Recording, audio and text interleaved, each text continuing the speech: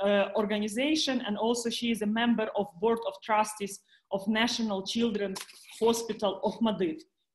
Let me start from giving the floor to uh, Katarina uh, Mathernova, uh, Deputy Director General for Neighborhood Policy and Enlargement. And um, uh, Katarina uh, is a good friend and real supporter of transformation of Ukraine. So Katarina, uh, recently Joseph Borrell mentioned that EU approves disbursement of uh, 500 million of, uh, millions of euros in macro financial assistance to Ukraine. Uh, the EU ambassador here in Kiev uh, made a statement that work has also already started on the next EU macro financial assistance to Ukraine, worth 1.2 billion euro, more COVID related and so disbursed more quickly than the previous one, but some conditionality will still be there. So Ukraine, uh, we Ukrainians highly appreciate EU technical and financial support for Ukraine. It really helps us to become stronger and to move forward towards deeper integration with the European Union and our integration to the EU and NATO is incorporated in our constitution.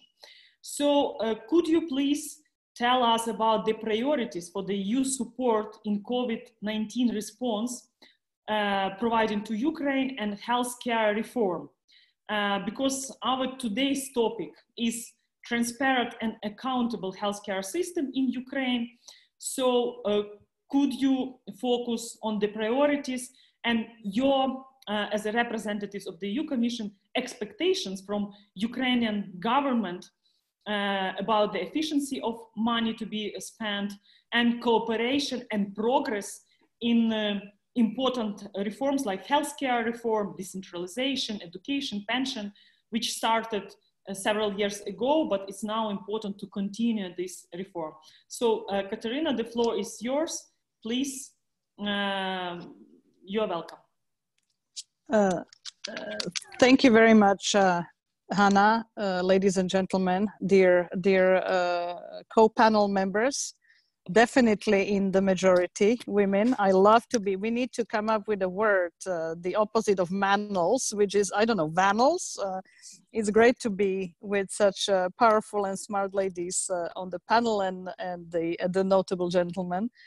Um, two words come to mind, but when I when I am going to give my quick remarks, and that's solidarity and uh, resilience. And I'll explain why.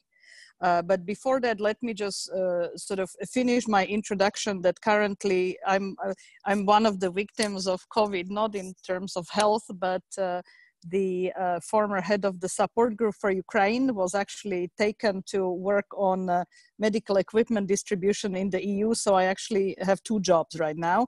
Uh, the one you mentioned, Deputy Director General, but also uh, I'm the acting head for the of the support group for Ukraine. So I'm even closer dealing with Ukraine than than before. So it's it's it's double the pleasure to to be here.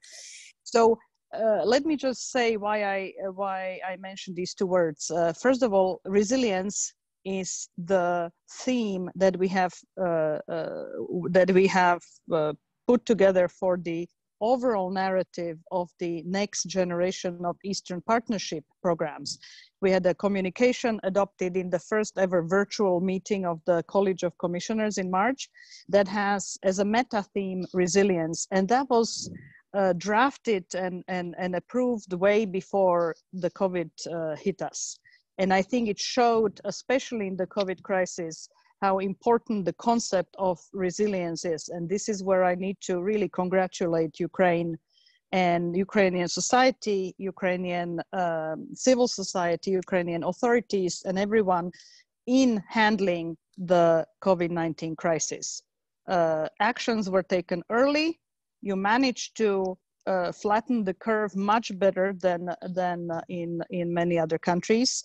The testing capacity uh, right now is really um, impressive. Uh, you have uh, engaged with the WHO very early on. Uh, we are happy to support that effort.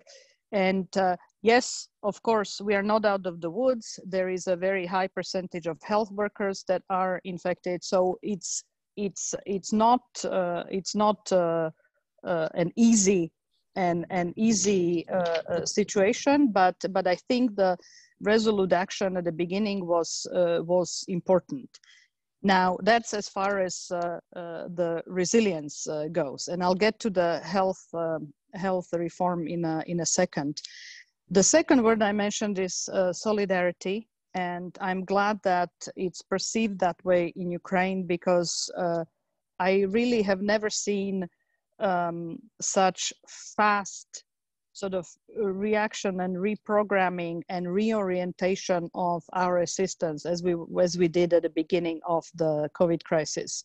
By the 8th of April, uh, we actually put together this this Team Europe uh, uh communication by uh, through which we were able to to really uh, reorient and make relevant to the crisis the assistance that uh, that we have. I mean we are at the end of our funding cycle so we didn't have new money but we were able to really postpone things that can be postponed and and and reprioritize other you know covid relevant uh, measures. And this is the uh, this is the package that we were able to put together in two in two installments uh, for Ukraine in the amount of 192 million euros of bilateral assistance, which includes both assistance to the immediate medical needs by financing mostly WHO um, uh, work in Ukraine on uh, on uh, on purchasing,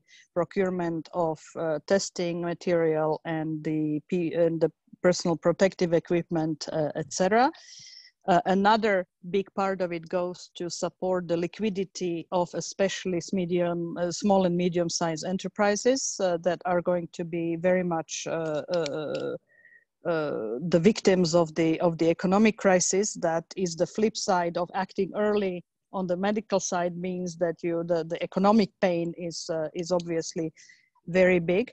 But apart from money, we also uh, were able to get agreement to have Ukraine become an observer member along with our Western Balkans uh, uh, uh, partner countries in the Health Security Committee that was set up by member states to really react uh, quickly in the in the crisis. And in addition to that, uh, we, as you mentioned, we were able to disburse after the, the agreement with the IMF the previous uh, macrofinancial assistance, the second tranche of 500 million, and we are in negotiations on the second one. It's been approved by by it's been approved to actually allocate 1.2 billion to Ukraine, but now we are in the middle of discussions of the so-called memorandum of understanding, which is going to detail the conditions for the second tranche. The first tranche is uh, an emergency COVID uh, tranche that is released immediately upon upon agreement and approval of the memorandum of understanding without conditions. So I think this sort of captures the the sense of really solidarity that all of us uh, feel with uh, with Ukraine and other countries uh, when it comes to to to COVID. Now, my third point, and I only have four points. I'll I'll, I'll try to. I'll, I, I know I'm probably running uh, over time, but try to be quick. Um, the third point I want to make is that COVID hit in the middle of uh, of the health reforms, or with health reforms in Ukraine underway. And and what I want to say is that you know reforms like these, really structural, deep structural reforms is something that sometimes take generations to implement. It's it, it certainly is beyond the the office of one government or or or one president. These are and these are many of them are big, difficult, complicated reforms. I come from Slovakia, so perhaps I have a little bit more patience than some of my colleagues from countries that didn't go through this deep post-communist transformation uh, in terms of what it takes and, and how complex these uh, reforms are. And often it's, you know, two step forward, one step back or one step sideways. And, and I think that uh, the EU and Ukraine have, didn't, have been at this um, in the, for the long haul uh, which doesn't mean that we only have patience. We also have expectations and we also have ambitions for a modern and corruption-free and well-governed uh, and prosperous Ukraine. And that's my, my fourth point, uh, just to say that uh, we were very happy with the, and, and, and with you, and as you know, supporting the, the health reform as such. I think that by all accounts, the first phase um, of the primary care reform has been a success. Um, and we do hope that we are able to uh, withstand the pressures of COVID and withstand all sorts of other pressures and carry out the reform as planned. Obviously, there may need to be some technical adjustments. Also, with the crisis, maybe the optic on on on what needs to happen uh, may get adjusted here and there. But I think that the main principles, which is the uh, patient-centered uh, approach and the performance-based approach and corruption-free uh, uh, healthcare is something that needs to stay with us. And uh, so it's a little bit disconcerting to see the, and this is not only in the case of, of, of the health ministry, it's a little bit disconcerting the, the, the, the, the rather expansive interpretation that is given to the idea of nominations uh, through emergency measures because we are in an emergency. I mean, sure, that needs to happen and institutions need to function, but, but some of these need to be, need to be uh, revisited in some areas. And we very much hope that the head of the NHS will be selected through an open and transparent process. And by the same token, um, when it comes to the procurement of medical equipment, uh, uh, we believe that uh, you know the, the, the money we the, the money we, we, we give you is is given for for uh, the idea of supporting the health uh, of the Ukrainian citizens and that uh, it should be procured any any equipment uh, needs to be procured in the most efficient uh, way possible. And uh, and that's one of the reasons why in fact medical procurement is one of the uh, conditions that is being discussed for the for the macro financial uh, assistance. So this is something this is an area that we are looking at very closely as well. And i will stop here Thank you, Katarina. And of course, we understand your double responsibility, also acting head of the Ukraine support group and true believer and optimist uh, towards Ukraine's future. Uh, thank you also for um, pushing us hard. And now I'm, uh, I'm, I'm uh, ready to give a floor to Oksana Movchan, acting head of National Health Service of Ukraine. I know Oksana from National Reform Council um, when she was an expert and was designing the healthcare reform, and now she's an acting head of National Health Service. There are lots of uh, information discrediting, unfortunately, Ukraine uh, about uh, competition, uh, which uh, Minister Stepanov uh, now is conducting, and interviews in the closed doors for the future um, head of the National uh, Health Service. And uh, Oksana, could you please briefly update us on the situation in uh, National uh, Health uh, Service of Ukraine, uh, their competition for new head, how you work for on COVID-19 response, maybe some political pressure or challenges, because as um, Katarina Mathernova mentioned, it's really important to make healthcare reform irreversible and second stage and then third stage according to the democratic principles with uh, transparency. So please. Uh, Hanna, thank you. So I'm so happy to see you again. Thank you for this opportunity. I just want to make a brief introduction. Together with me today is uh, Alena Goroshka. She's actually the uh, key financial engineer behind the program of medical guarantee. And I will, like, from time to time, will be passing the word to her, and she might she might be able to explain you in more detail what is the financial um, arguments behind the the design of the program of, of, the first program of medical guarantees in Ukraine and the whole uh, idea of universal health coverage for Ukraine. So uh, very briefly, I will um, just to remind you that uh, NHS was established in 2018. Uh, the first stage of the reform uh, started in, in, in, this year. In this 2019 was the new financing mechanism for primary healthcare facilities.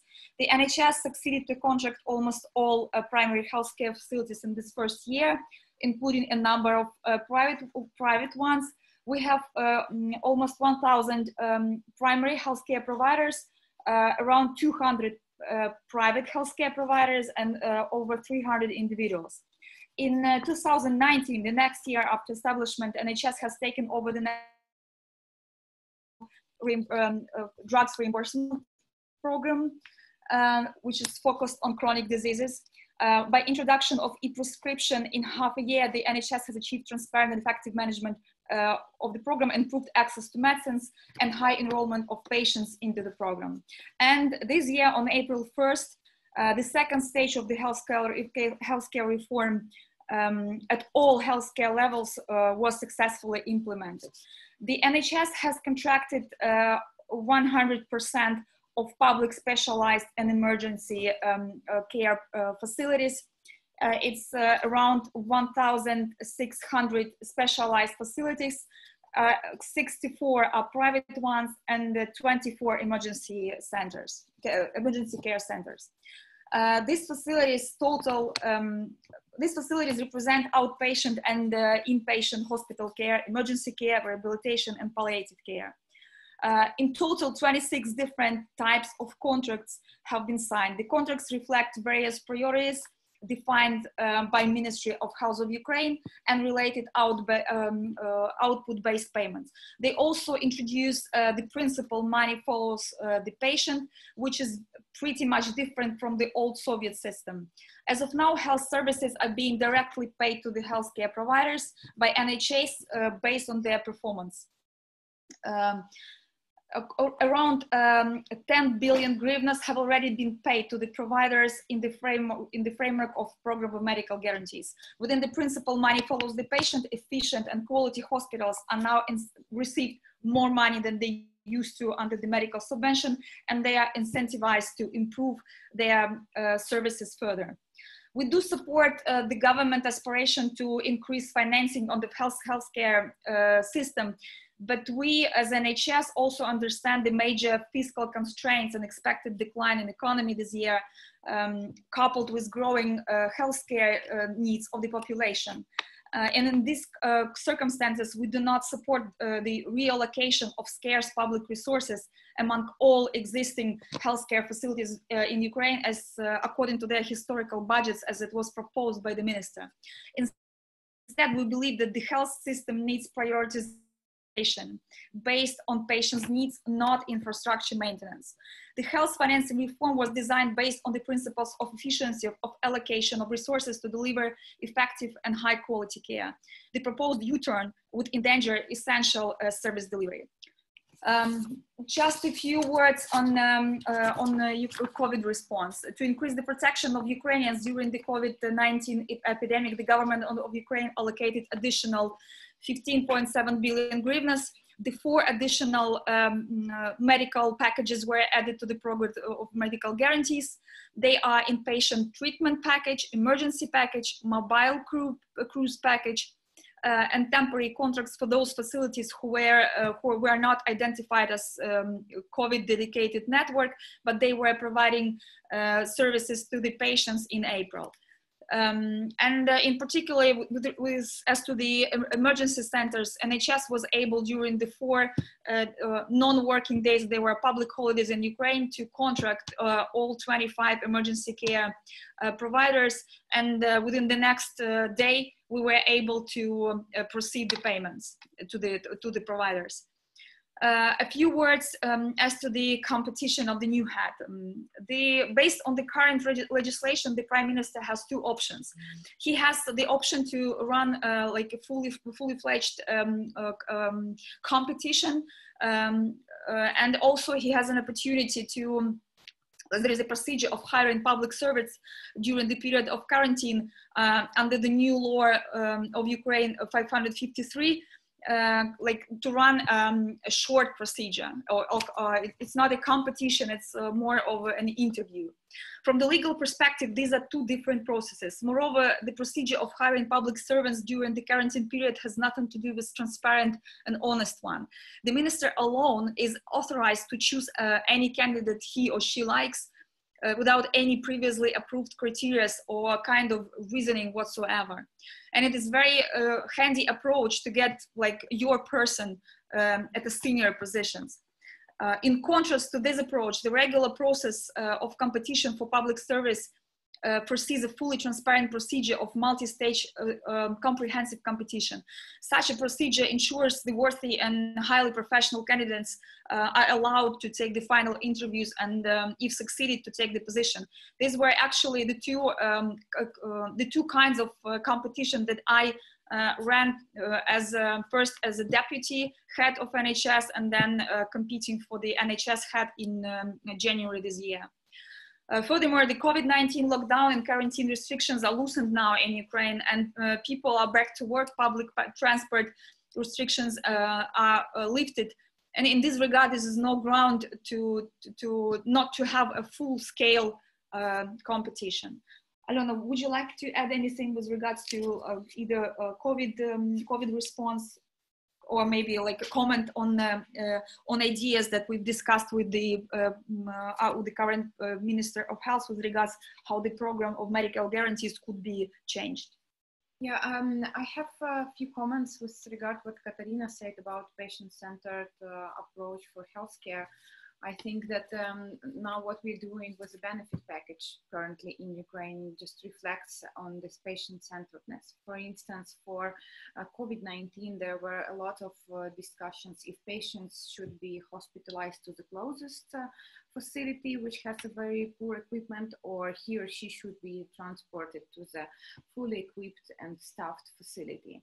So in our work and in the program of medical guarantees, we just follow the principle that if uh, the facility is paid for service, then they must have um, all equipment and all staff needed to provide care for those people. So we now have around 300 providers who are uh, checked for having uh, equipment and staff to provide services for COVID patients. We also supported this approach for other types of services. So this is uh, the first uh, steps towards making the system working for patients.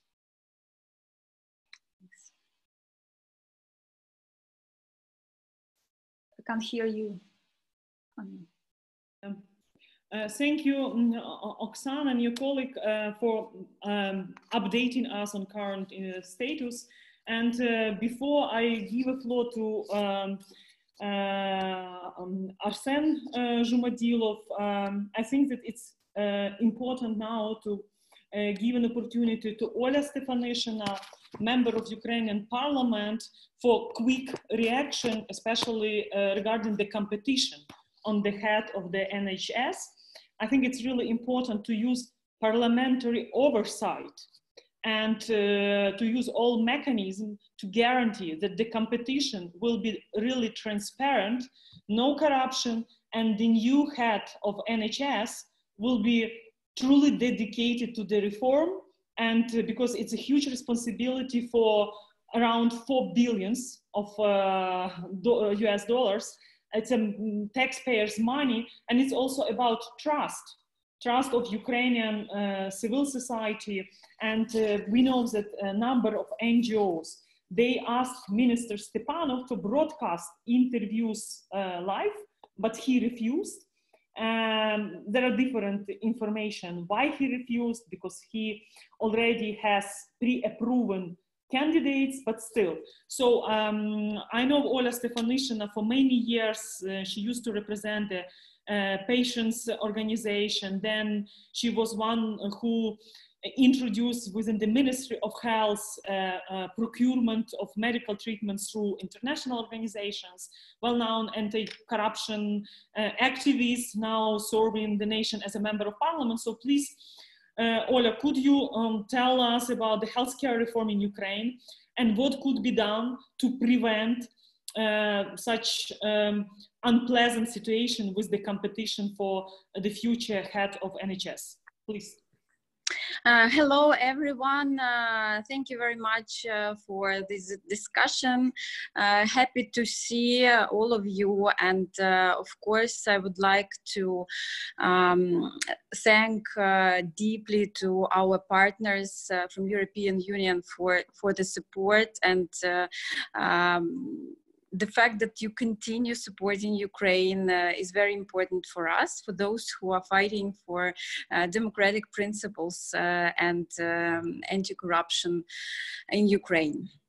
Uh, yes, uh, uh, I would really like to react on the issue of NHSU director appointment because this is one of the most urgent issue now and um, previous speakers told about the importance of healthcare reform and the success of primary um, care reform. And uh, I totally support uh, the idea that uh, the reform should continue and the principle of patient-centered approach and uh, paying for service uh, should be um, continued and um, uh, we have no other options. But um, at the moment, uh, you should understand that we really have a very difficult situation in healthcare, and um, it uh, mostly concerns the fact that uh, for nine months already, the Minister of Health uh, is in a process of constant turbulence due to the fact that uh, the ministers of health uh, are, are being changed constantly. Uh, improper people are appointed on their positions, and um, this leads to the fact that um, people who come uh, don't understand the issue, don't understand the reform, and um, they actually block a lot of uh, a lot of uh, things. Uh, first, uh, concerns procurements of uh, drugs and medical medical devices.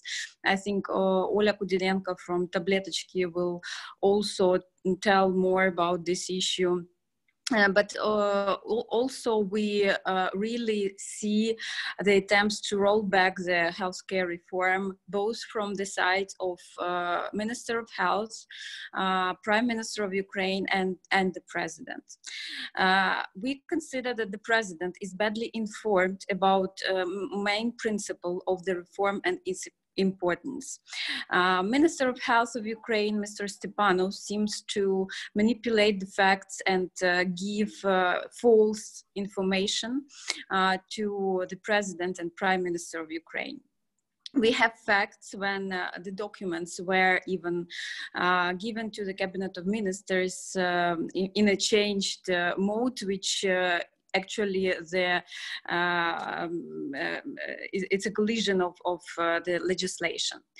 So um, coming back to NHSU, um, we, as Oksana described, we had um, approved the legislation which gives some simplified procedures to the Ministry of Health to conduct uh, selection of, uh, mm, of heads of different institutions.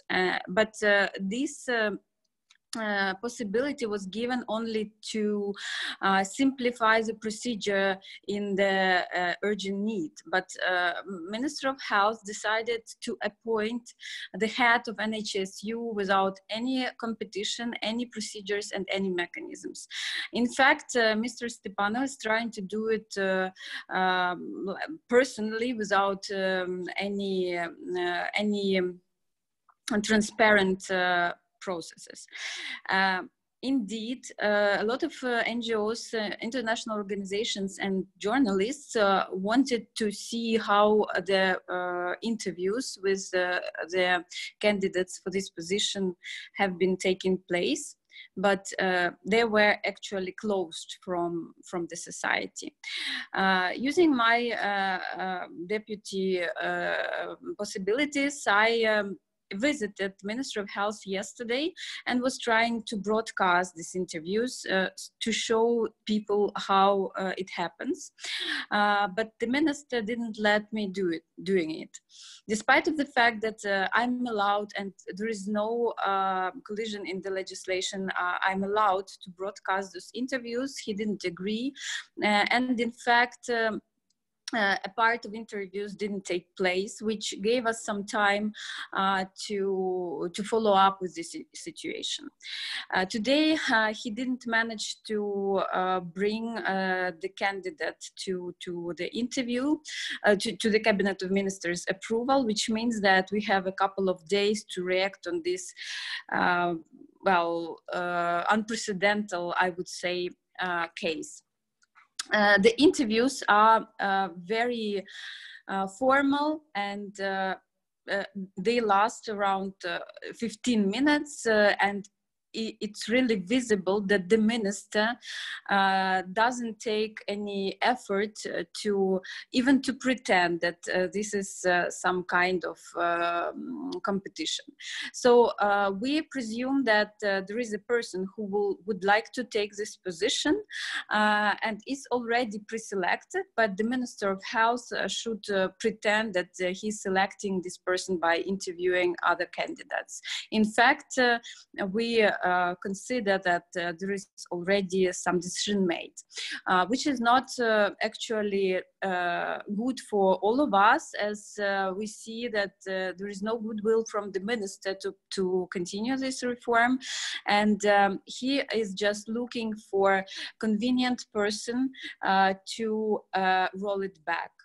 Uh, I'm very much concerned about the situation and consider that uh, in case we let uh, minister mm, do so, uh, we actually will lose NHSU as a body which should implement the reform. I truly believe that those people who work there at the moment uh, are highly, uh, highly high professionals who know uh, the reform in every detail and we should not lose these people. But appointing a, a person who would roll uh, uh, out the reform we will we will see that uh, the reform the reform will be stopped. So um, today, uh, I talk about it uh, at our committee.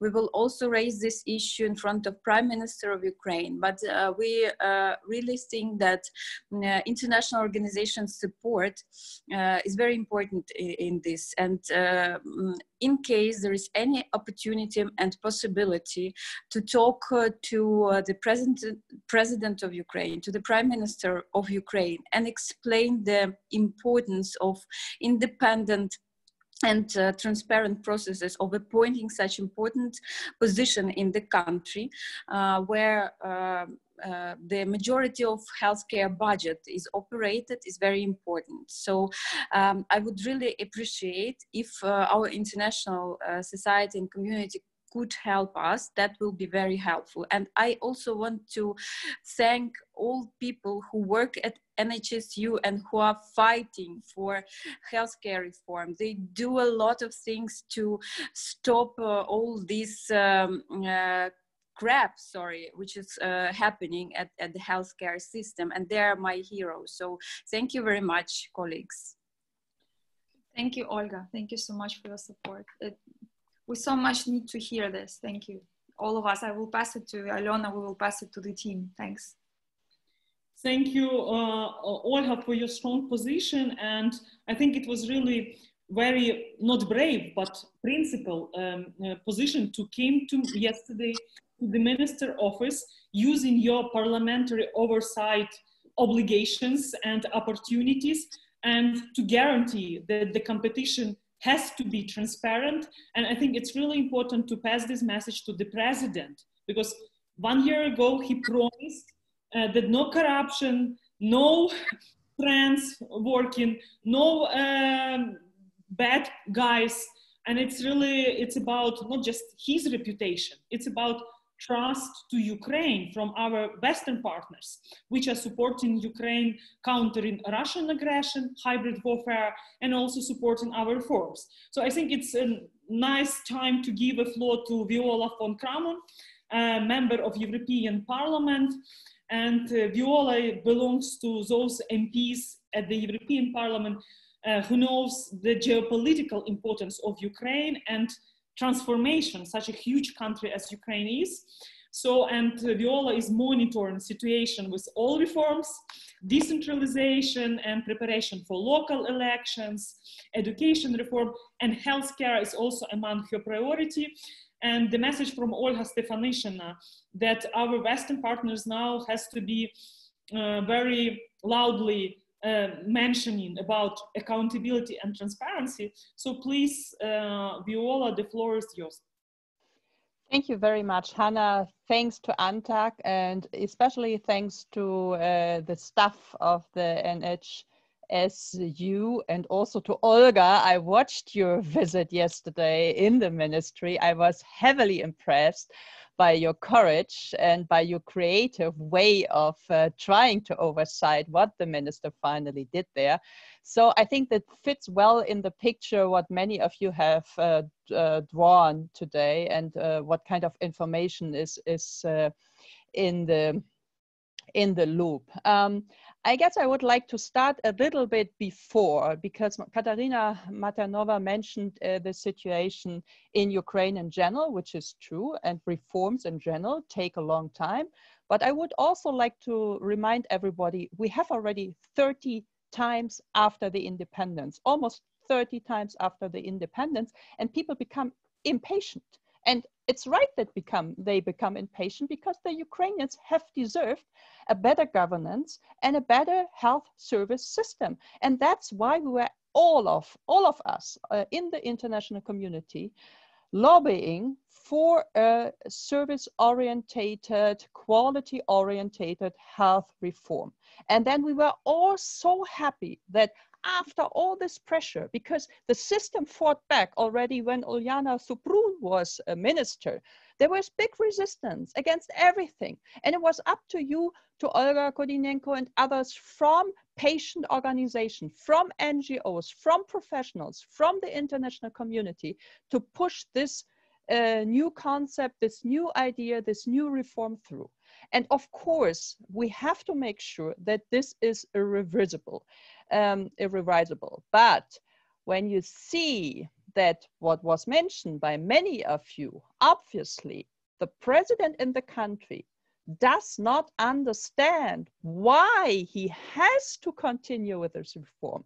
He is obviously influenced by those who formerly had uh, uh, resisted these reforms, who were fighting on the, let's say, old Soviet system of health uh, um, uh, reform or health, not health reform, but health system. And that's make it's currently very, very difficult uh, to overcome uh, this uh, this blockade within the ministry, but also I see within the government. And of course, I was very outspoken on the weekend, and we were drafting a statement Ukrainian and English, where we are saying it's, I mean, the problem is in energy, you have some oligarchs fighting for their interests. They have vested interest. Yeah.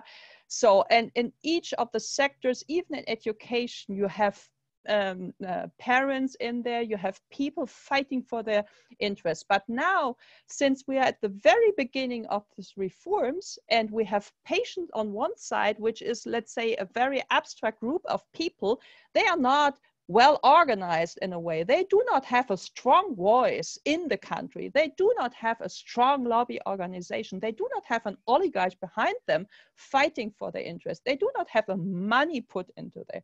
So it is up to us, the international community, somehow to defend this reform, to, to save this, to make sure that the interest of ordinary people, as I said, who have deserved a better way of healthcare system that we together manage the second phase or the second uh, step of the reform in a way which is, as Katarina and others have mentioned, transparent and which is conducted with Oksana and others in the uh, health uh, uh state uh, uh, agency by competent and independent people independent people because there's a lot of money in there and of course if you know you have three uh, percent of your gdp 86 billion uh, Ukrainian hryvnia is a lot of money. And there's a big temptation, not just by the minister, but a lot of friends of different ministers,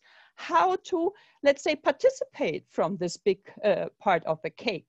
And so we have to make sure when we give money from the European level that you buy uh, equipment, you buy medical equipment. This money is not thrown out of the window. This money doesn't disappear in some of the dark channels. That money doesn't disappear in what the president was lobbying for a year ago before he became president in a anti-corrupted, transparent, civilized manner. Yeah, and now we see exactly the opposite, and that's why I'm so harsh on this, and that's why I'm so outspoken, and I think that's my right and that's my obligation to do so, because otherwise, yeah, you see, there is, uh, I mean, if you follow uh, this or you trace uh, the, the structures of who actually would have gained from this fake procurement, what the minister had in mind there is a company somehow linked to Avakov and his interior ministry, and then there's another person and people coming in. So you see, it is not uh, the anti-corruption, let's say, side of the uh, government being supported by the president, but it's the opposite. And it will be up to us, the international community, to remind the president what he was up to and why he was um, uh, running this campaign for anti-corruption, anti-oligarchization, yeah, uh, and and now when it comes to the health uh, care reform, uh, the health system, we see exactly the opposite. We know from Mr. Stepanov uh, that his, let's say, uh, CV, his biography shows some of, let's say, not just a clean um, uh, backpack uh, of uh, history.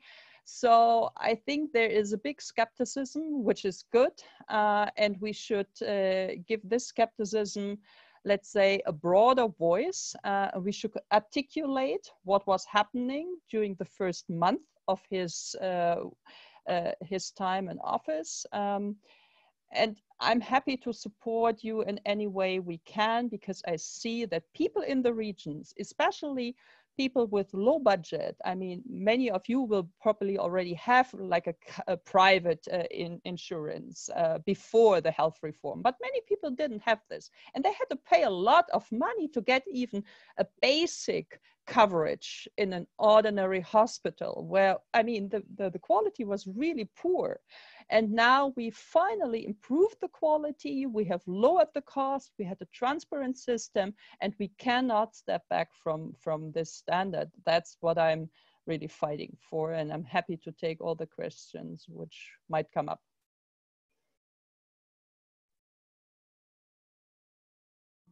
Thank you, Viola.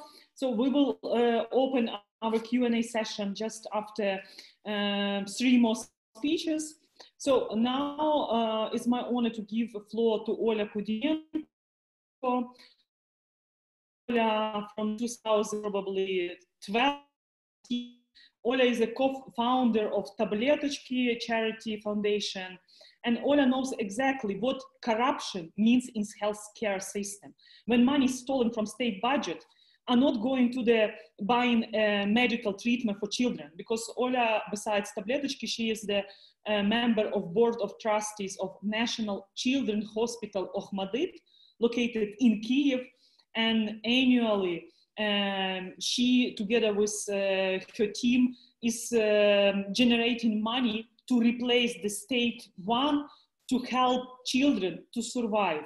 So corruption in healthcare system means killing lives, especially children. Oh, and I'm also a uh, pleasure to see uh, Dmytro Gurin, member of Ukrainian parliament. Uh, she is also belonging to anti-corruption fighter in healthcare system. He's uh, one of the supporter of healthcare reform. I know Dmytro from uh, Euro Maidan, from Dignity Revolution, and I could say that he's one of the not designer but um, implementator of healthcare reform. But now, please, Ola, and then Dmytro, we will uh, turn the floor to you. Please, Ola. Hi everyone, I'm running Charity Foundation Tabletochki for almost nine years. We help like more than 4,000 kids directly for this whole time. And we spent last year more than 3 million of dollars to help kids. And what I would like to say, it's very hard to make changes and to be liked by other people. That's what's trying to do our government right now. They have television, they have uh, opportunity to talk to a lot of people, but they don't listen. They just telling about some interests of people. They're talking about doctors, they're talking about some hospitals which are um, not providing any services, not good, not bad, just any. Uh, in my nine years experience, I saw a lot of cases with kids who were not diagnosed at this at, at right time, uh, who were who were treated and cured in a unprofessional and very bad way. And we unfortunately lost those lives. Uh, unfortunately, kids and their parents are in such trouble. They're fighting for their lives and they cannot speak and they cannot speak from television. They don't have time for that. And when they're trying to, and when parents who lost their children trying to talk on television, on with journalists, on any uh, floors they can have, uh, the people and government doesn't listen to them because it's very um, convenient not to hear them, not to hear the truth. It's very it's very convenient to be liked by others, by their friends. So firstly, what I would like to say, um, our, it looks like that our president and government are trying to be liked for this whole year. They changed three minister of health and none of them are continuing the same thing that was begun by previous team. Uh, previous team cannot be, uh, maybe uh, not right everywhere, but they done some good things and we can continue doing this and help our patients because the reform and all the situation we have right now in medical reform in Ukraine are about patients, not about doctors, not about hospitals, not about, not, not about politics.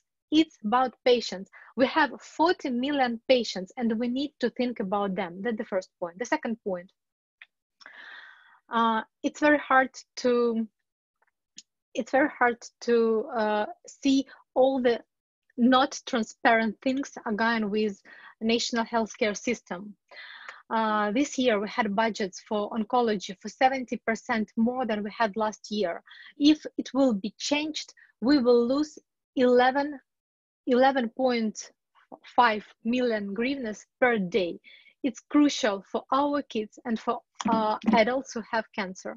We have very bad survival rate. Nobody talks, but we have 50% survival rate for kids, which are 30% less than in Europe. We lost like 50% of all kids who are diagnosed cancer. And I think uh, the statistics for adults are even worse. And that's convenient not to, to think about this. The third point about COVID situation. Um, uh, you uh, donated us, give us, provide us money to fight COVID-19 in Ukraine and help us a lot. But uh, the tests are not done, uh, are not doing for kids right now.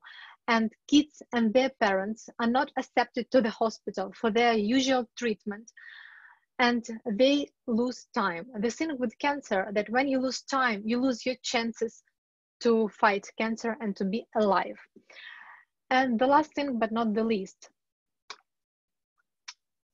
three, uh, Ukraine was um, uh, was selected as one of the country as one of the main countries for World Health Organization to provide the initiative for childhood cancer to improve the survival rate uh, up to 60% all over the world. And three ministers, it was very hard to push them to sign the agreement for with uh, WHO. We signed it, but nothing got done by current minister, by previous ministers, and we are losing days, um, money, uh, time uh, to implement new approach to treat, to cure, and care for the kids. Uh, I think I'm pretty sure Arsen will talk about this, and Dmitry will talk. I'm pretty sure we will we will be lack of um, uh, pills for with treatment in September. Uh, mi current minister hasn't started uh, to buy to buy pills for kids in government level. So we will be lack of pills for kids with cancer already in September. and it will be crucial because non-foundation, uh, any family doesn't have such uh, amount of money, such amount of resources to provide um, normal and uh, normal um, uh, not normal treatment, normal treatment that can that can help kids. So uh, I, I just have hope that our voices today from patients will be heard, but not by patients, but by the government who take decisions. I think that people, that a lot of government people think that that they are not they are not responsible for what are happening with patients, but they are responsible. They are responsible not to start pro process at the um, right time. They are responsible not to buy pills. They are not. They are responsible how money for NHC will be used and who will be running this. And they are. They will be responsible if uh, oncological with, with if patients with oncological diseases will lose 11.5 million hryvnias per day. So I think I, I, I just have a hope they will hear and they will take action. Thank you, Ola. And now I'm you know, um, now presenting Dmytro Ugurin as a true fighter for healthcare, healthcare reform. Uh, he represents the majority party. Uh, Dmytro, thanks for your article today. As, um, we just mentioned Ola Stefanyshyna. She um, was with us and her yesterday's visit to the Minister of Health, Stepanov, demanding to conduct transparent competition for the head of uh, NHS. Uh, Dmytro, please uh, tell us more uh, how to pass the message to the president of Ukraine that there are some manipulation regarding reform and it's important that he somehow intervene and not to uh, allow this sabotage and also this fake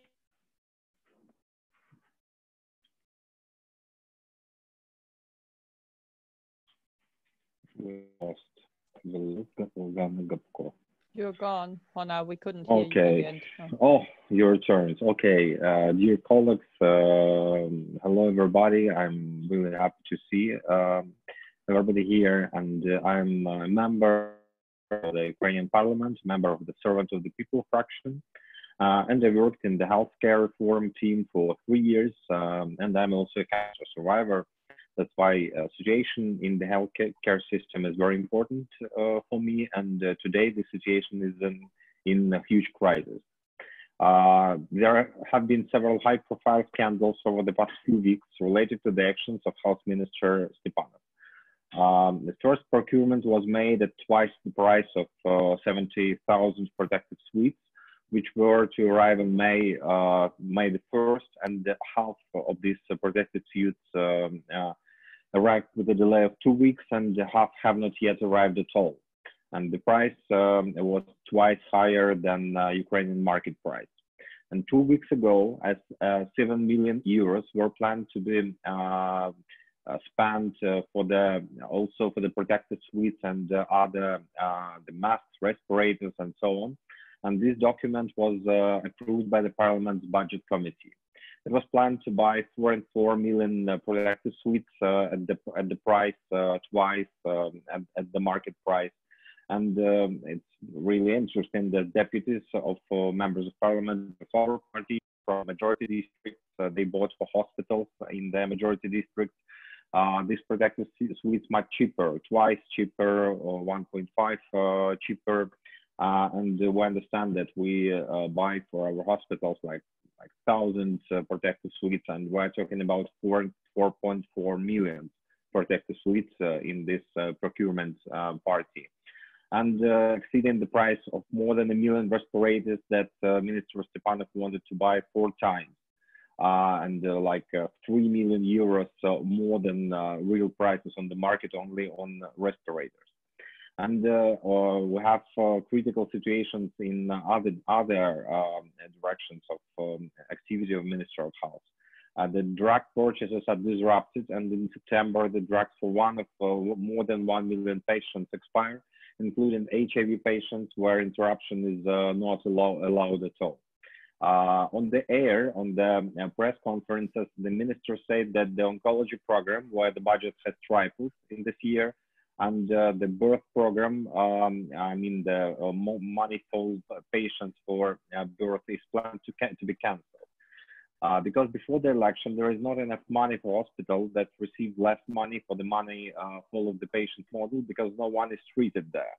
But we will have uh, like local elections in October, and it's you know the politically toxic, so let's cancel the oncology program. At the same time, today the cabinet minister is asking for uh, two billion today, like two hours ago, from the COVID fund for the National Guard, for the uh, police uh, department, two, two billion. And the minister is silent. He doesn't come for the budget to the Verkhovna. He doesn't ask for the budget in the cabinet of ministers. He's just silent. Yesterday and today, the minister carries out and the shortened procedure of selection for the chairman of National Health Services Ukraine the uh, executive body which distributes 7% of state budget of Ukraine for this year. 7%. And full-fledged competition was declared unsuccessful, and now we have simplified selection. In one day, in Zoom, like we all here in Zoom, the minister conducts interviews with all the candidates.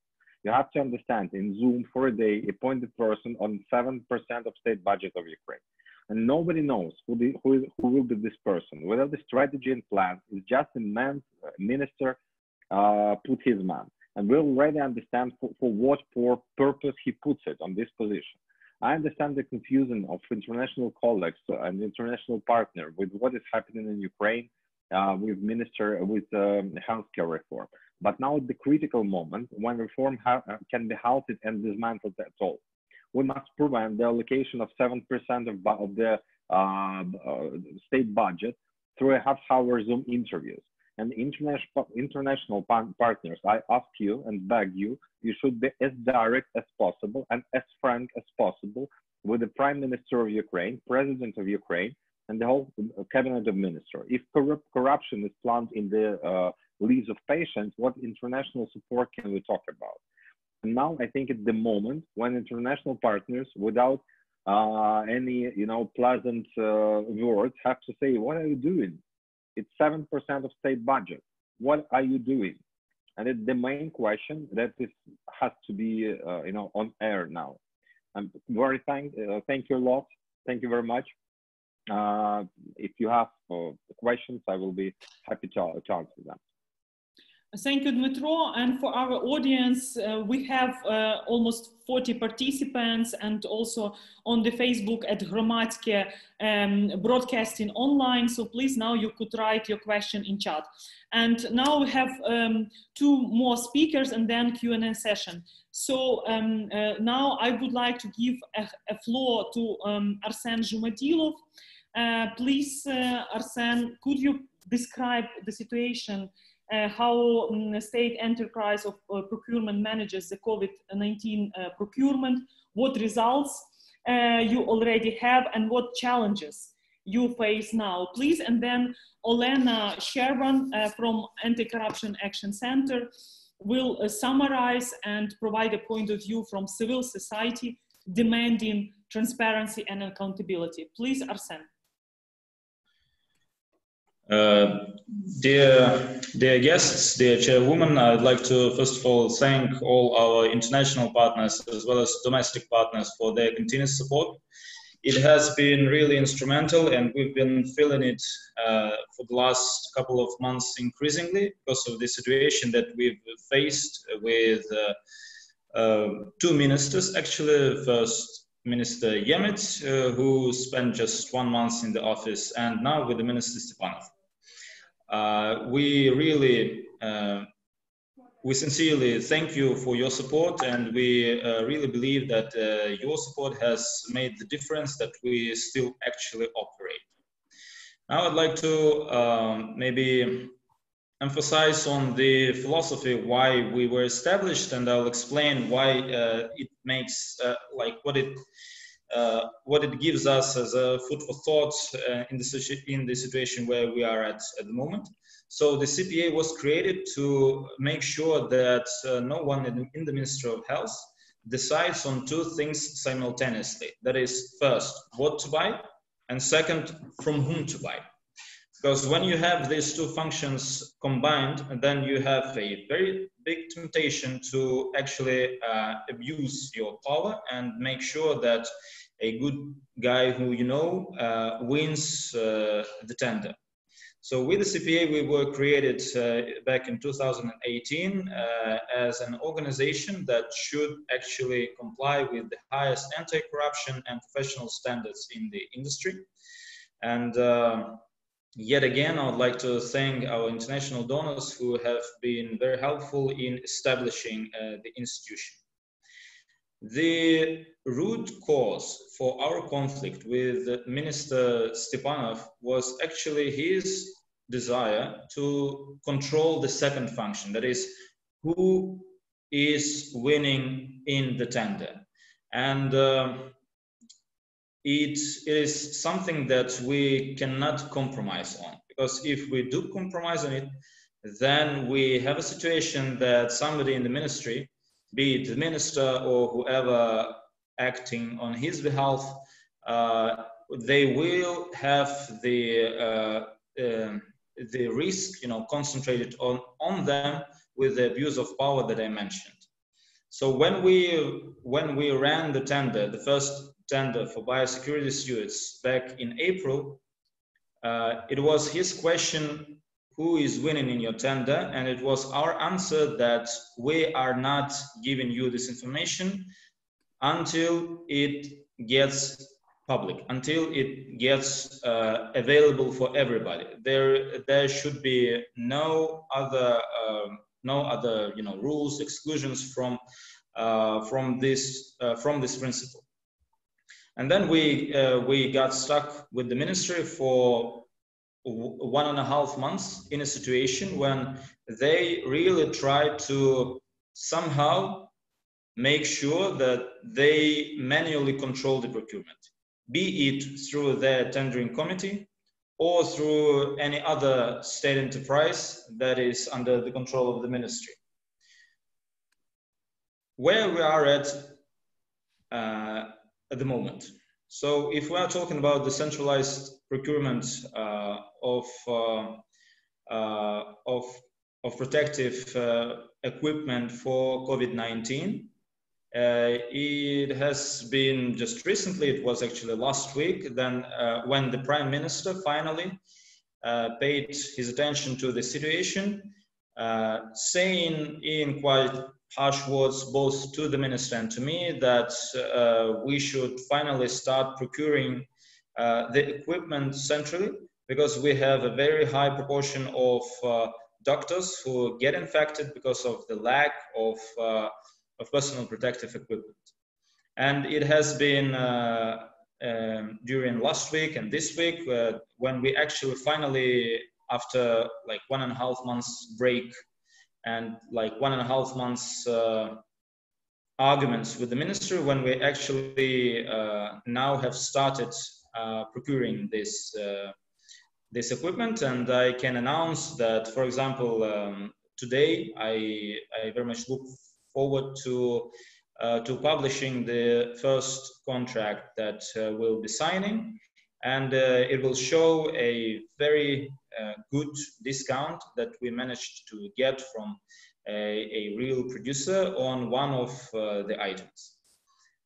Now, uh, the situation with uh, centralized programs that was mentioned by uh, some speakers before me, uh, when we are talking about uh, those programs that are run annually and that cover uh, 38 actually nosologies within them, including oncology, cardiovascular diseases, and the rest.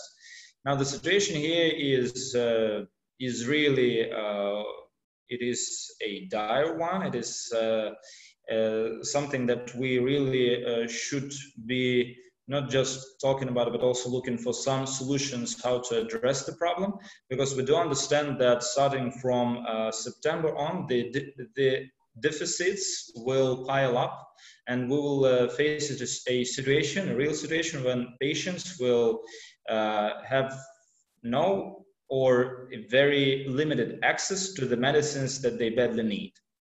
So we've also we've uh, come up with some ideas on how to um, maybe regulate it in a way that uh, we can do the procurement faster.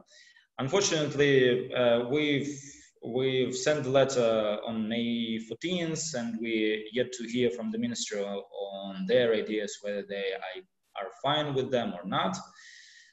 And uh, we uh, really understand that uh, uh, every day uh, of procrastination, I, I can call it this way probably, that we are in at the moment with the centralized programs will, will be will have dire consequences, real consequences on our patients. Uh, having said so, I would like to also um, pass my support to, to the NHS of Ukraine because uh, we understand that uh, um, real normal operation of this, institu- of this institution is absolutely key to the healthcare reform in Ukraine. And uh, we really look forward to having a strong partner that we've been having for the last like um, year and more uh, as the NHS has been till the date. And we're really worried with the situation that we, of course, are aware of uh, with that uh, uh, competition, so to say. Thank you. Thank you, Arsen. So now Olena Shcherban, um, board member of Anti-Corruption Action Center, one of the organizer of today's Zero Corruption Talk and Zero Corruption Conference. Olena, could you please give overview and examples of how the COVID procurement are done? Because there are lots of discrediting information about different schemes. And also, could you provide your remarks on behalf of civil society and watchdogging organizations, your remarks on uh, NHA's uh, work and brief situation with international procurement. I know that your organization, together with Tabletochki and Patients of Ukraine, are um, controlling um, this situation, conducting monitoring. Please. Uh, thank you, Hannah. Well, um, to begin with, uh, our organization uh, has for a long time has been professionally engaged in detecting corruption in public procurement. We have always focused on the procurement of medicines, which have been uh, an integral part of healthcare reform. And um, at our initiative, hundreds of corrupt procurements worth billions of hryvnia were cancelled. At the same time, we advocated for the implementation of procurement through international organization and uh, establishing of an uh, independent drug procurement agency, which now uh, my previous speaker Arsen leads. Um, and uh, the practice of uh, advocating uh, for reforms in Ukraine shows us that um, only positive changes are possible only when we have a synergy and interaction of international partners from the one side and strong civil society support and individual agents of change and reformers in power uh, who contribute to positive changes um, inside. Uh, but now we as a civil society are very concerned about uh, the dangerous trend of the last uh, six months when the government actually gets rid of some reformers uh, inside and uh, um, instead of that appoints sometimes um, people who we as a civil society consider as anti-reformers uh, at the same time, uh, it is very grateful and uh, honorable to have a, a, such a strong support for Ukraine from international partners. And uh, as a civil society, we ask our international partners to continue to support Ukraine, both uh, expertly sharing your um, experience and financially.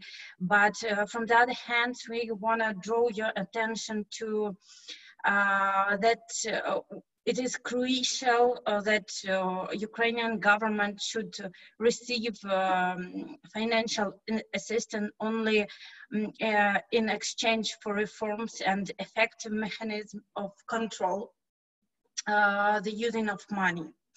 Fortunately, in Ukraine, we have a very strong civil society and very professional civil society, which in recent years played a crucial role in uh, promoting positive changes in Ukraine. And history and practice shows that um, when the government doesn't uh, take into account the position of civil society, it's always ends not very good for the government. So these lessons must be learned. We now are seeing de facto a halt to a healthcare reform and uh, some steps backwards in the area of procurement reforms, which uh, offsets all the previous steps in this area. Um, now we see that the Ministry of Health in such a dangerous and important period of global pandemic simply neglected the uh, established effective uh, procurement mechanisms um, as international organization and as a procurement agency um, and the entire like uh, ministry uh, failed the central procure procuring of drugs and the entire burden of providing protection for doctors and hospitals actually fell on local authorities, volunteers and philanthropists uh, um, also, from the very beginning of pandemic, we as a civil society outlined uh, very important steps that uh, need to be implemented by the ministry, uh, how to organize these truly independent procurements. Instead, the ministry began taking action only after the public pressure. Uh, now the key mistakes and the key problems in the field of procurement, uh, we see um, the lack of development strategy in the procurement planning. Uh, now we see that uh, ministry doesn't have any plan for the procurement uh, to this year and uh, uh, the ministry has completely moved away from identifying pandemic uh, some um, anti-pandemic procurement policies and uh, guidelines and instead of um, systematic, systematically interfering with the procurement agency we have already identified a number of violations and the global uh, problems with the procurements now.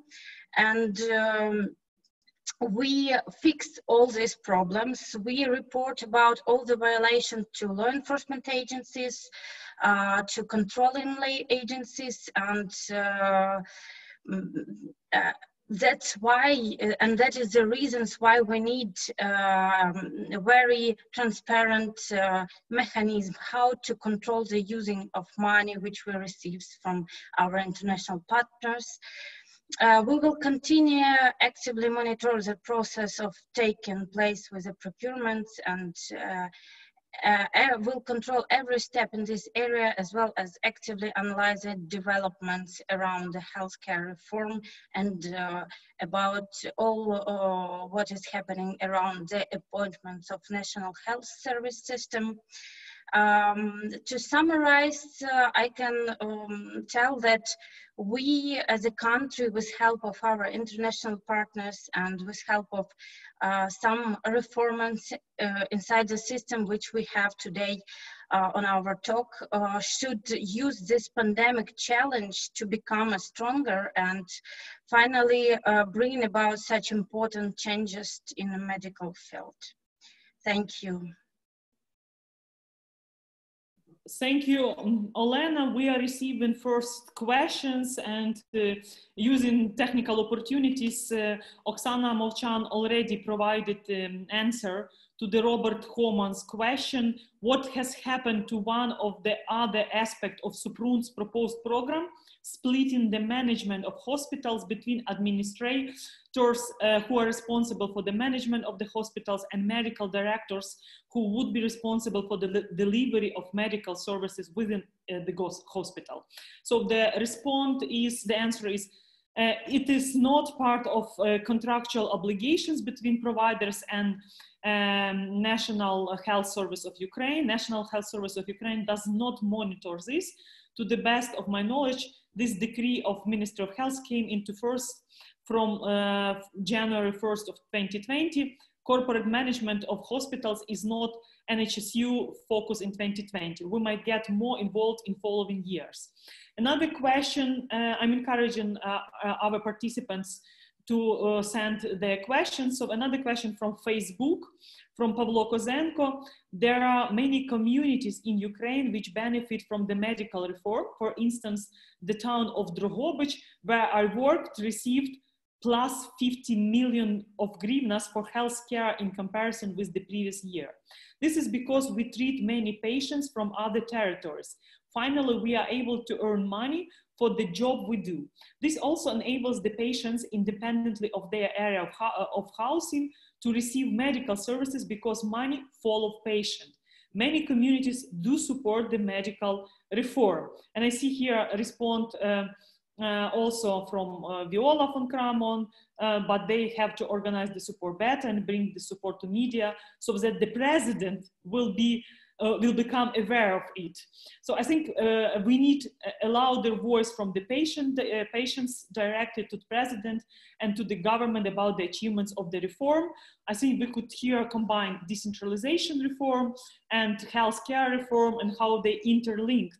And of course, I agree that in media and the public awareness campaign of the reform will help to avoid manipulations. Yes, another uh, question from Konstantin Zelenov. Zelenov uh, to all panelists, good afternoon. Why don't you give to foreign partners information about pre-collapse in uh, psychiatry, uh, about 20, 260 euros per hospital case, about 30 days and 1.5 euro for ambulatory uh, consultations. In this, a good change, uh, changes in healthcare and also one anonymous attendee. In your opinion, who is favorite to be selected for the uh, NHU head position? Uh, um, the response from Oksana Movchan is high uncertainty remains. Maybe uh, Dmytro uh, Hurin, uh, if he's still uh, with us, could answer on this question, but I think that there, there should be transparent competition and best uh, of the best candidate with uh, higher quality experience and uh, good portfolio uh, has to win because it's a question about uh, public finances. And um, since we are not receiving new questions in our chat i think it's a good time to give uh, a floor to Katarina Mathernova, uh, with her double responsibility, uh, representing the Euro Commission and uh, helping uh, Ukraine with our transformation and all reforms. So, uh, Katarina, you had, thank you for uh, all panelists for being with us and your contributions. And after listening to all panelists from different fields, but truly motivated to have this reform in democratic way, um, please, um, could you provide some solutions? Um, what, uh, what are the mechanisms could be used from the EU side also to support Ukraine uh, to continue a public health healthcare reform in very transparent way, please. Well, I'm. Uh, I don't think I'm going to be uh, giving solutions here. Uh, what we can, I mean, the solutions are ultimately uh, matter for Ukrainians, both on the side of the authorities and the side of the civil society that uh, is both helping in the in the policies design as well as doing the the watchdog function uh, vis-a-vis the authorities to find solutions. What we can do is uh, support and question, and as Viola very uh, uh, very eloquently said, uh, you know, with her with her passion and, and detailed knowledge of this sector, you know, we will be we will be we will continue to be partners, but we will continue to be critical partners and and uh, uh, uh, questioning and challenging you at the same time as providing support because I think that having having a, a, prosperous and stable Ukraine that where the health sector uh, works is in our joint interest, and that's why I think that uh, uh, it's it's a huge importance to have organizations like yours and the various uh, uh, co-presenters to to continue being engaged and continue questioning the the choices because that's what happens in a in a democratic society. As i mentioned we support uh, long term the the health uh, health uh, uh, sector reform. We very much hope that it stays on track. And the two areas where I uh, mentioned we are particularly keen observers is the public procurement which was very much discussed with uh, in the panel today, and the selection of the head of the uh, National Health Service. So I would not venture a, a guess of who it's going to be because uh, we very much uh, trust we will find uh, a, a, solution which is going to be a transparent and merit-based uh, selection for the new head of the NHS. And I will stop at that. Thank you. Thank you, Katarina, for all your support, and thank for uh, on behalf of Ukrainian uh, Ukrainians for the EU financial and technical uh, financial support technical assistance. And now we have a question to Dmytro uh, Hurin. Uh, there are two questions, one from George Salmanev and Viktor Artemenko. Uh, first, it seems this government only responds and implements reforms when pressured by the international community what real life pressures can we apply on the government to ensure reforms are implemented and not derailed? And Viktor Artemenko, what our MPs will do to reverse harmful to the NHSU and reform appointment. So Dmytro, uh, we with Ola Stefanyshyna from opposition, but together with Ola, you think uh, you have the same vision on reforms and you are uh, supported the reforms. So could you please respond to these uh, two questions? Uh, the, the, second question is uh, much easier to uh, answer. Uh, we have already the document. Uh, this is in process of signing between members of parliament of all fraction for the residing of Minister Maxim Stepanov. And as I remember, the, the, the, this document started the fraction Golos, not the Sluha Narodu, Servant of the People fraction. Uh, but um, uh, already more senators from our fractions than from all others. And uh, I think it's political. We don't have now in um, Ukraine interpellation procedure of, for the exact minister, for the one minister. Uh, but uh, uh, this, this, is the political process, and we understand that scandal, that everything that Minister Stepanov does goes to scandal zone and it's toxic and it's more and more toxic every day. And uh, I think this uh, political process will um, uh, still, and uh, I hope during uh, like several weeks we will uh, decide this problem with this corrupted minister. And it's a it's a really big big problem for our country. There's already a third minister, and it's it's this minister. It's again uh, not the stable uh, real manager who uh, press forward the this the ministry the sorry the reform case that finds more money because we understand that we have COVID situation and it's a unique possibility to uh, gain more money for healthcare system. And all I, I'm, I'm really uh, sure that all our ministers and all over the Europe, they uh, use this case, uh, use this situation for getting more money, uh, budget money for uh, Ministry of the Ministry of Health System. And the first question was uh, uh sorry about uh, Ghana, dear Hannah. The first question was for, not about the members of parliament, but yes.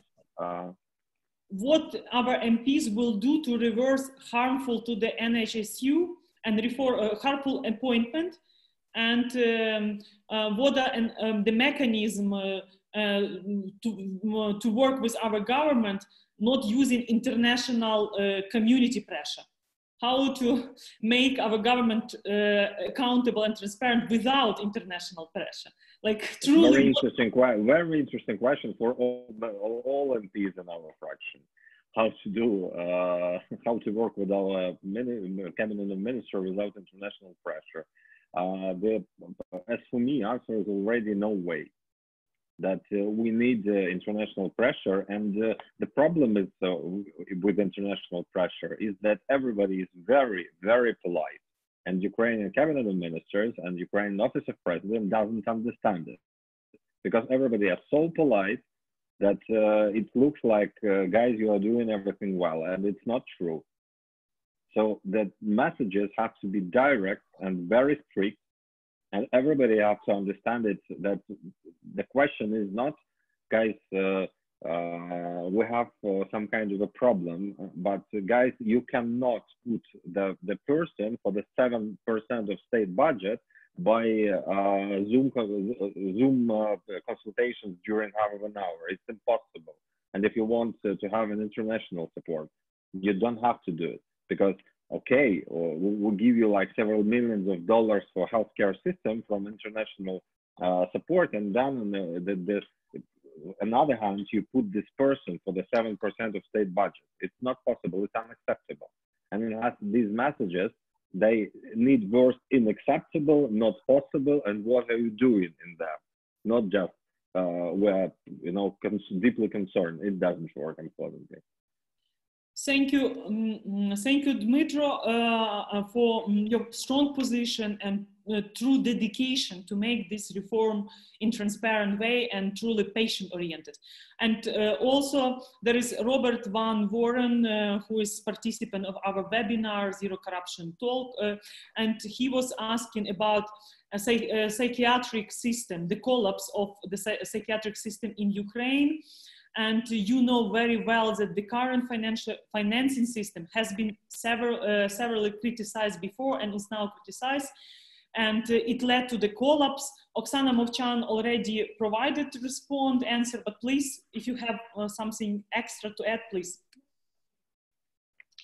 Uh, no, no, I don't. I don't think so. Just, I just want to say that we've contracted the same volume of care that we, the historical uh, structure case this is in the first place. In the second place, we've increased the number of providers, thus increasing the competition because previously it was only a traditional uh, psychiatric uh, uh, clinics uh, around 60, 70 in Ukraine, I guess we contracted all of them. They all received the back, I mean, received the offers from, from NHSU, but we've also increased the number of providers. We added um, 150 uh, multi-profile hospitals well equipped well maintained and they can also uh, provide this uh, this care so we increase the competition in trying to increase aiming to increase the quality of care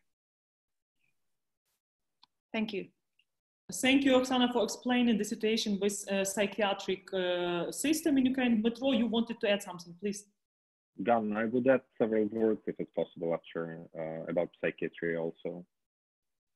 Uh, uh, the problem the problem is really we have this problem. That psychiatry uh, now not not in the state that we have uh, we can start reform and without any problems. Uh, that's true, but uh, the main that we all have to understand that psychiatry system it's not about curing people in Ukraine and like never were. Because people in Ukraine with psychiatric disease they uh, in hospitals, and uh, it's uh, you know it's it's not modern uh, uh, ways of treating these patients. The, the main is uh, medical rehabilitation and medical social rehabilitation, we, and we don't have them. And now we have like hospitals all over, all over the country where like inside the conditions are like in jail really and ombudsman uh, the, like every month uh, have a visit to these hospitals and they are uh, no it's it's the, the photos from these uh, psychiatric hospitals were like more than thousand people uh, in, with more than thousand patients inside laying in the stationary uh, mode it's uh, it's also it's it's incredible. It's like a real jail, but a jail of Soviet Union of uh, 70s, 80s uh, years, yeah, 1980s.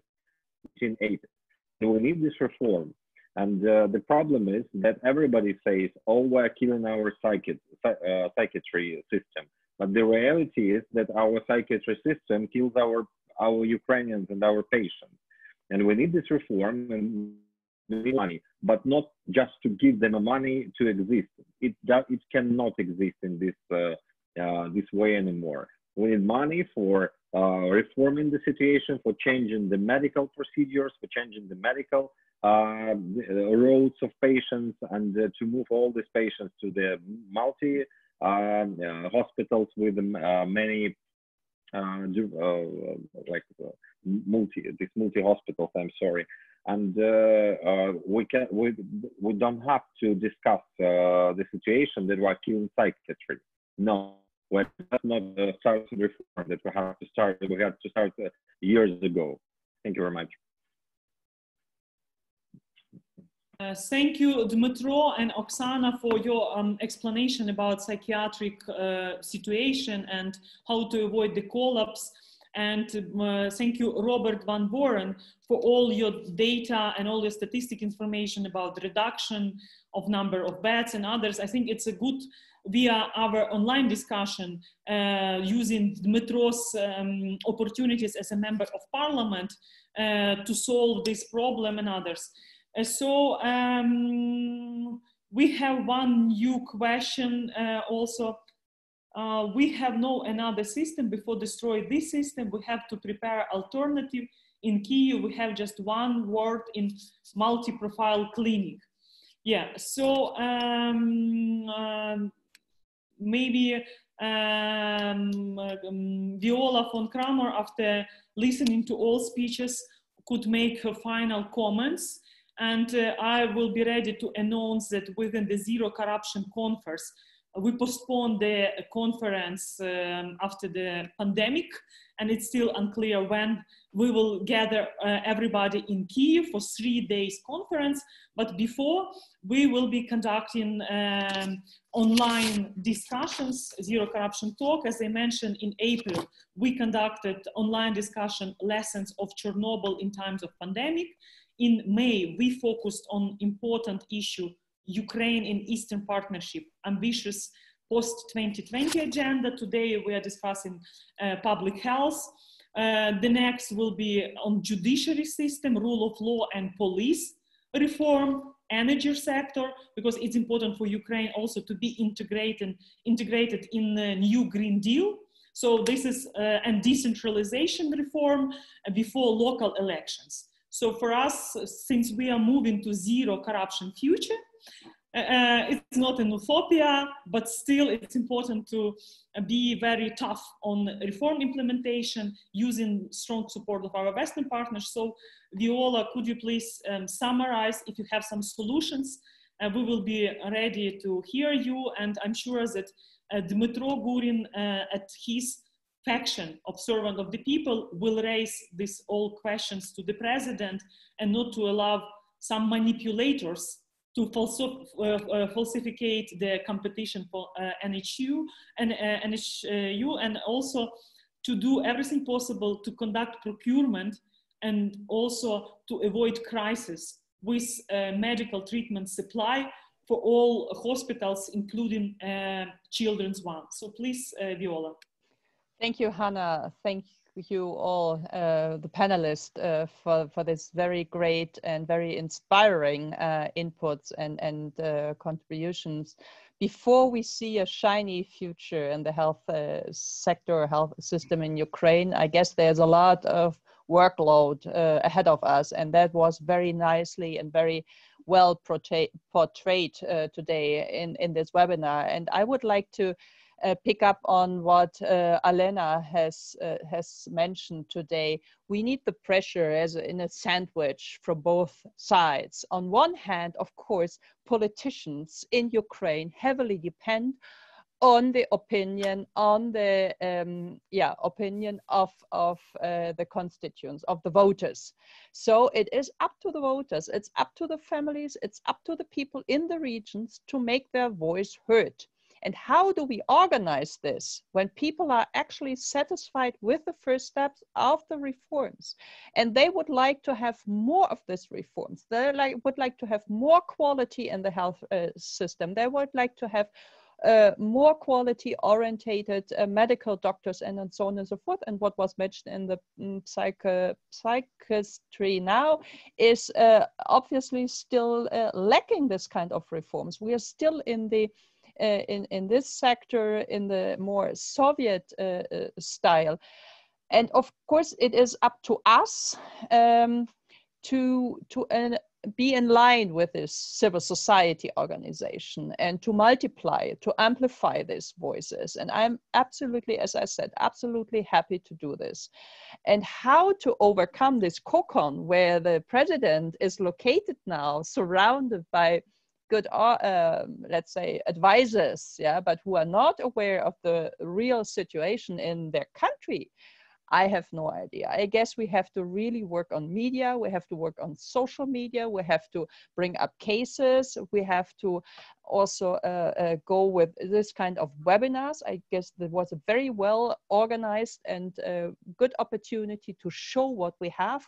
Excellent experts in the NHSU in the uh, CPR, in, in, in the uh, agencies. They are independent, they are strong, they are committed, they know what they are doing.